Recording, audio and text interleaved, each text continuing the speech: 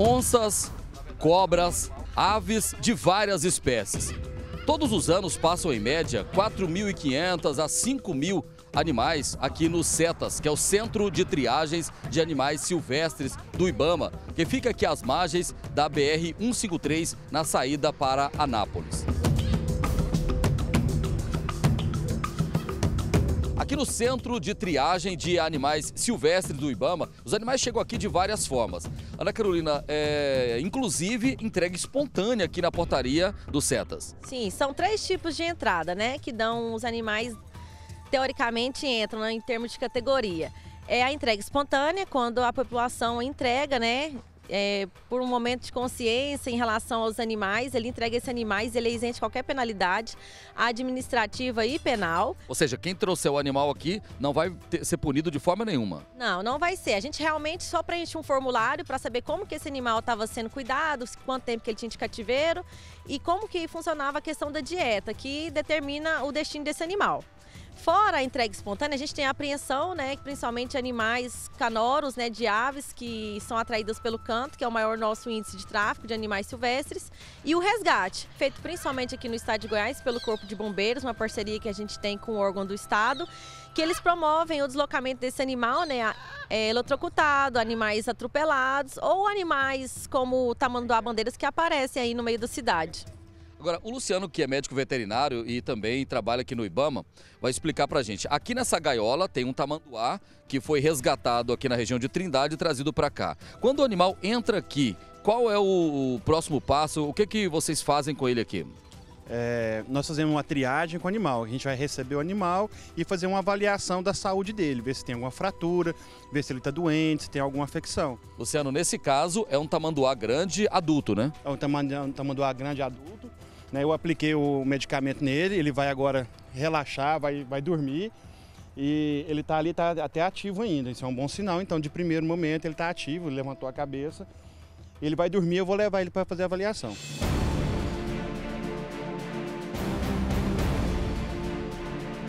Bom, aqui nessa área ficam as onças, né, que são ou apreendidas ou então são é, entregues aqui é, de forma espontânea ou principalmente pelos bombeiros que fazem a captura. Luciano, vamos chegar aqui. A, nessa área que a gente está aqui, ficam é, qual a espécie? São onças pardas, né, osso suarana, onça vermelha. Ela é bem encontrada no Brasil inteiro, bem distribuída no cerrado, em áreas de mata, em áreas abertas também um animal que está em bastante quantidade aqui no nosso estado de Goiás também. E a gente vê ali, ó, só da gente aproximar, ela já começa a mostrar os dentes, ou seja, ela já estranhou a nossa presença aqui. São animais selvagens, né? São animais que têm um instinto né, de predador, elas não gostam da presença humana. E elas ficam até fazer essa reabilitação. A hora que elas estão prontas para ser soltas, reabilitadas, desmamadas, né? E não, não estão, é, estão repudiando né, o, o contato com o ser humano, aí elas, nós buscamos uma área adequada para poder fazer a soltura delas. E aqui desse outro lado, né, ficam outras onças dessas que o Luciano explicou para a gente, que elas são separadas aqui. É, nós vamos entrar aqui, claro que essa visita é, não pode fazer, né? a gente faz porque está acompanhado aqui com o Luciano, que é do Ibama. Essa é uma das mais é, nervosas que a gente tem aqui. Inclusive, ela foi atropelada e teve que ser amputada uma pata. Ela não tem a pata traseira do lado esquerdo.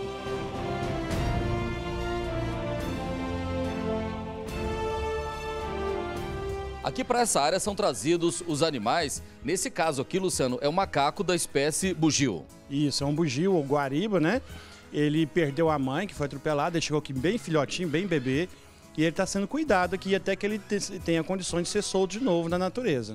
Então, na verdade, aqui ele recebe é, os cuidados e um dia ele vai ser solto. Isso. O importante é que esses cuidados, a gente não permite que ele associe a alimentação e os cuidados com o ser humano. Senão ele vira um animal doméstico, ele vai ficar manso. E a ideia e né, o objetivo é que ele continue selvagem ainda, para que ele possa viver na mata depois com a vida normal. Bom, aqui nessa outra gaiola, tem também uh, um macaco, também da espécie aqui guariba, né? Que essa é a fêmea. Nessa cor clara é a fêmea. Desse lado aqui, ó, esse aqui é da mesma espécie, macho, Luciano. É o macho. Esse animal foi atropelado, você pode ver que ele tem uma dificuldade para se sustentar. O rabo também? O rabo está machucado. Ele vai ser encaminhado, nós já fizemos os primeiros exames, ele vai ser encaminhado agora para a faculdade para poder fazer os exames de raio-x para que ele possa receber o tratamento adequado. Bom, e esse aqui é um macaquinho da espécie? É um sagui, né? Ele é um, um primata, é um macaco de pequeno porte, né? Esse aqui ainda não é um adulto, é um jovem, um filhote jovem. E ele foi resgatado também, sem a mãe. E aqui está sendo cuidado, né? Já está quase no ponto já de, de ser solto já. Ele é bem pequenininho, né? Olhando assim, ele deu o quê? Menos de um palmo, né? Menos, ele está em torno aí de 10 centímetros, né? O adulto não passa em torno de 15 centímetros. Então ele é um animal bem pequeno mesmo.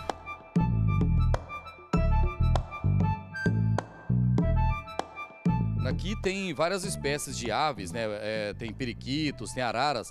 É, muitos desses casos aqui são aves que ou foram apreendidas né, por órgãos ambientais ou foram entregues né, por pessoas que mantinham em cativeiro aqui na, no Ibama. Por que, que esses, essas aves ficam em grupo? Qual que é o procedimento aqui?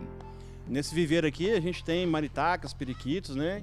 Eles estão aqui para perder o contato com o ser humano também e aprender a viver entre si, né? Eles formarem um bando e esse bando eles vão começar a vocalizar entre eles, aprender, né, a conviver de forma de bando para poderem daqui uns dias serem soltos também na natureza. Bom, e aqui nessa área a gente tem, né, são várias araras. Essa aqui, Luciana, de espécie qual? Essa aqui é a arara canindé, né? Ela também, muitas vieram de cativeiro, resgatadas. Algumas chegam filhotes que no tráfico de animais silvestres eles transportam muitos filhotezinhos, né? Eles vêm para cá, a gente faz esse, esse, esse cuidado até que elas cheguem num ponto que pode ser solta também.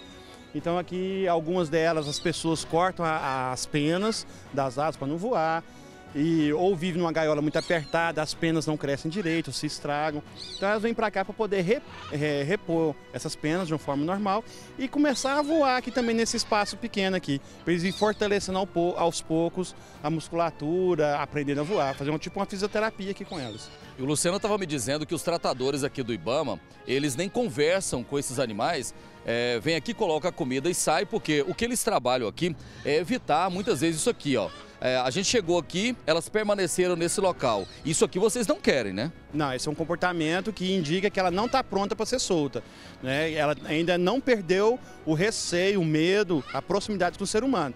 O ideal quando a gente chega perto é que elas vão para o outro lado, né? Buscando fugir do ser humano.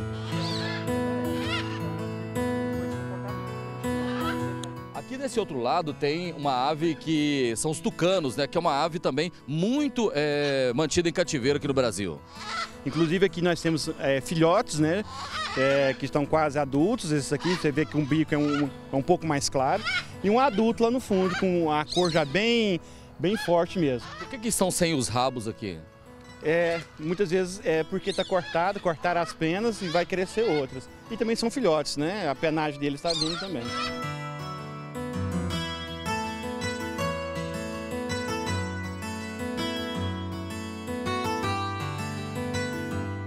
A maioria dessas araras que a gente vê aqui, são muitas araras, eram de cativeiros? Muitos eram cativeiros. Se você observar aquelas lá em cima, elas estão fugindo da gente, tá vendo? A gente chegou aqui elas estão indo pro outro lado, ó. Esse é o comportamento que a gente precisa. Isso quer dizer que está funcionando a reabilitação? Está funcionando a reabilitação. Ela, ela tem receio do ser humano e está indo pro outro lado. E aqui para os setas vem muitas cobras, como é o caso dessa cascavel, que foi capturada ali na região do anel viário, é, entre Goiânia e Aparecida de Goiânia. Normalmente essas cobras, elas chegam aqui trazidas por bombeiros, como é que elas chegam aqui? Esses animais são recolhidos pelos bombeiros, secretarias ambientais, pelo, pelo batalhão de, de polícia florestais, fazem o recolhimento, resgate desse animal e traz para cá. Para cá a gente vai fazer a triagem, ver se é peçonhenta, se não é peçonhenta e encaminhar ela de acordo com a disponibilidade de local nosso. Eu vou afastar um pouquinho aqui, até porque se trata né, de uma cobra venenosa com incidência muito grande na região centro-oeste, que é a cascavel.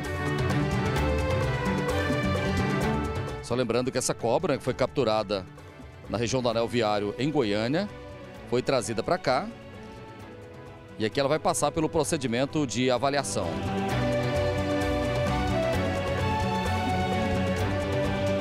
O Luciano está usando um gancho Ali, ó.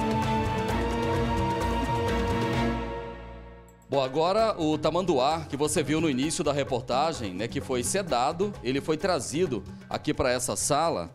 Luciano, aqui, uh, que tipo de procedimento vocês fazem aqui? Aqui a gente vai fazer o exame clínico dele, vai ver se, se não tem alguma fratura, algum ferimento aberto, ver se ele está respirando normal, se a temperatura está normal, para a gente ver se precisa fazer algum tratamento dele. Se não precisar ou for algum ferimento simples, a gente vai providenciar a soltura. Luciano, então, após essa primeira avaliação aqui, você já percebeu alguma coisa aqui nessa pata dianteira? Isso, eu estava fazendo uma avaliação dessa pata esquerda e eu percebi que aqui tem uma fratura. Ele está com esse, com, essa, com esse braço dele quebrado. Agora, para saber a extensão e a gravidade dessa fratura, só com um exame de raio-x. A gente vai levar a fazer o raio-x, ver se tem condições de pôr um pino, uma placa, para poder fazer a, a redução dessa fratura, para esse animal ser solto de novo.